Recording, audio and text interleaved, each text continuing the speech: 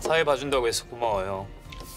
야 이거 벌써 떨리는데 잘해볼게 아 맞다 받아라 뭐야? S호텔 스파 이용권이네? 결혼 선물 결혼식 때문에 신부들 피부 신경 많이 쓰니까 어머님이랑 여자친구랑 같이 다녀오면 어떨까 해서 결혼 선물이라면서 내 건 아니네.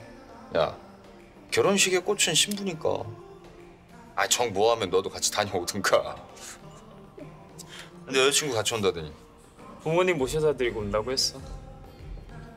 어, 저기 온다. 서진 씨.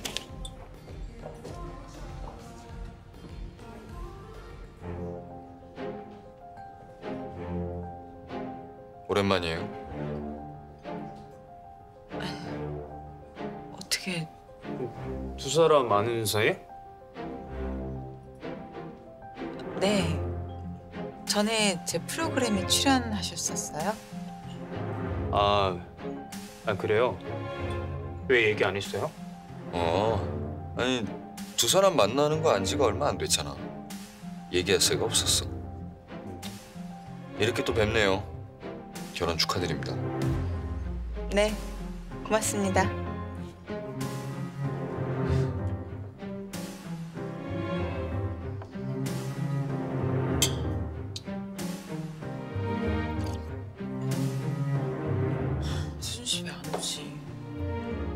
결혼식 때도 이렇게 안 오는 건 아니겠죠?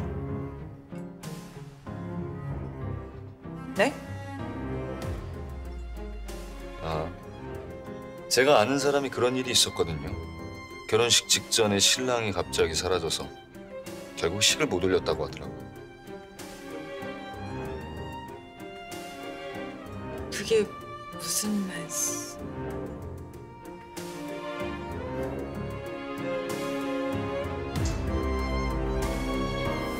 미안. 전화가 와서.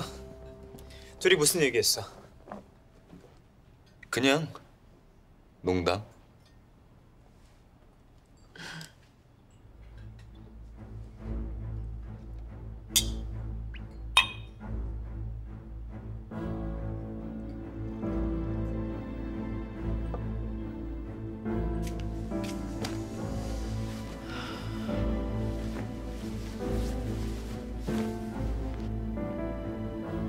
서준, 유민혁